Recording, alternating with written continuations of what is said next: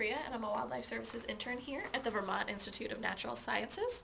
Today, I'm getting ready to work with one of our permanent resident birds. He's our eastern screech owl, so I'm getting ready to get him out of his enclosure right now.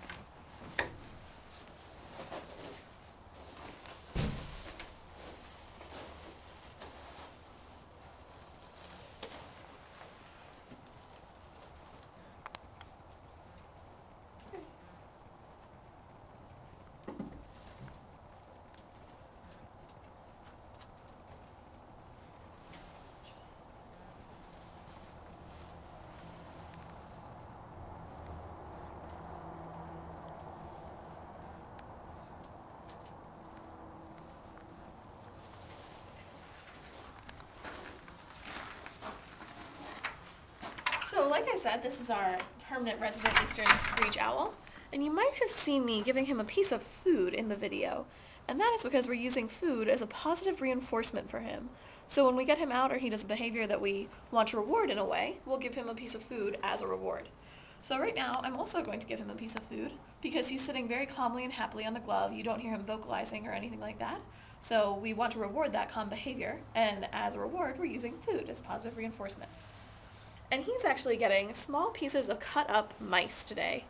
Owls have to have some, some sort of food item that has fur on it, so he's getting fuzzy mice as opposed to hairless mice or quail or chicken, something that has fur on it.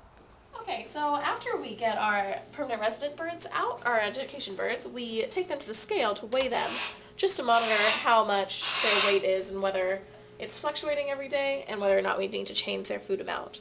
So he typically weighs between 140 and 160 grams. So he's right on target today at 140 grams. So you can see that we have a small perch for him that he gets weighed on, but some of our larger birds actually go on this larger perch to be weighed, just so that they have a larger portion to sit on.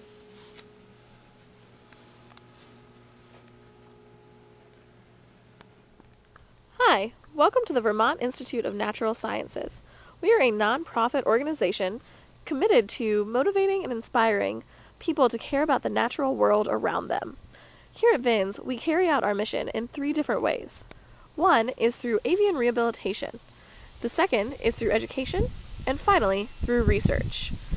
Here at VINS, today we are working with our eastern screech owl, who is a permanent resident bird here. He's used in educational programs on site as well as on outreaches in the greater New England area.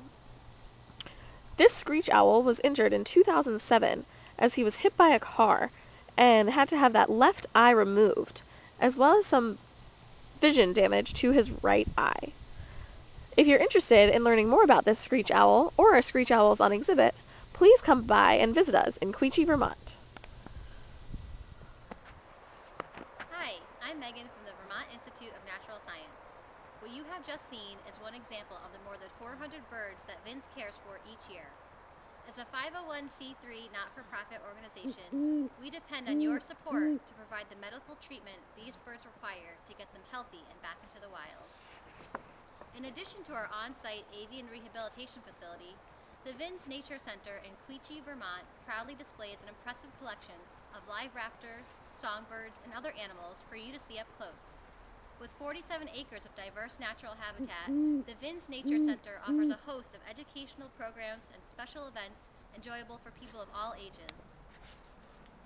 For the latest information on the birds in our care, a list of our current Nature Center programs, outreach opportunities, and events, or to contribute to VINS so that we can continue our important work, mm, mm, please visit our mm, website at vinsweb.org or call 802 359 5000 for more information.